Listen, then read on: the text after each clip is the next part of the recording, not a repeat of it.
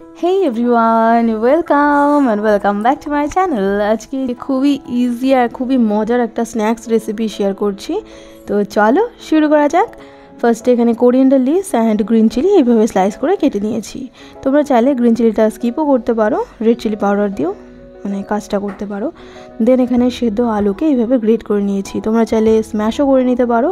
এখানে মশলার জন্য red chilli powder black pepper garam masala and জোয়ান অ্যাড করেছি। এটাকে ভালো করে মিক্স করে নেওয়ার পর এর মধ্যে এক টেবিল চামচ মতো চালের গুঁড়ো অ্যাড করেছি। আর দেন এখানে একটা ডো রেডি করে নিচ্ছি। তো যদি ডোটা একটু বেশি নরম হয়ে যায় তাহলে এর মধ্যে আরও চালের গুঁড়ো অ্যাড করে নিও।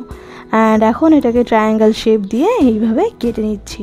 অ্যান্ড হাত দিয়ে একটু এজেসগুলো সমান করে নিচ্ছি। অ্যান্ড এইভাবে সবগুলো রেডি করে নেওয়ার পর একটা পাত্রে এখানে ব্রেড ক্রামস নিচ্ছি, কারণ ব্রেড ক্রামসেও কোট করতে হবে।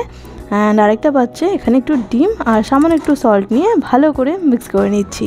এখন এটাকে ফার্স্টে এগ ওয়াশ করে ব্রেড ক্রামসে কোট করে নেব। অ্যান্ড এইভাবে সবগুলোকে রেডি করে নেওয়ার পর এগুলোকে ফ্রাই করব। আমি এখানে শ্যালো ফ্রাই করছি। তোমরা চাইলে ডিপ ফ্রাইও করতে পারো। তো এগুলো মোটামুটি রেডি হয়ে গেছে। এখন এগুলোকে নামিয়ে নেব।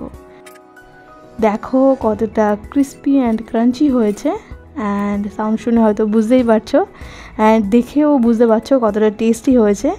এরকম আরও মজার রেসিপি জানতে অবশ্যই সাবস্ক্রাইব টু মাই চ্যানেল আর আরও কী ধরনের রেসিপির ভিডিও দেখতে চাও, অবশ্যই কমেন্টে লিখে জানিও।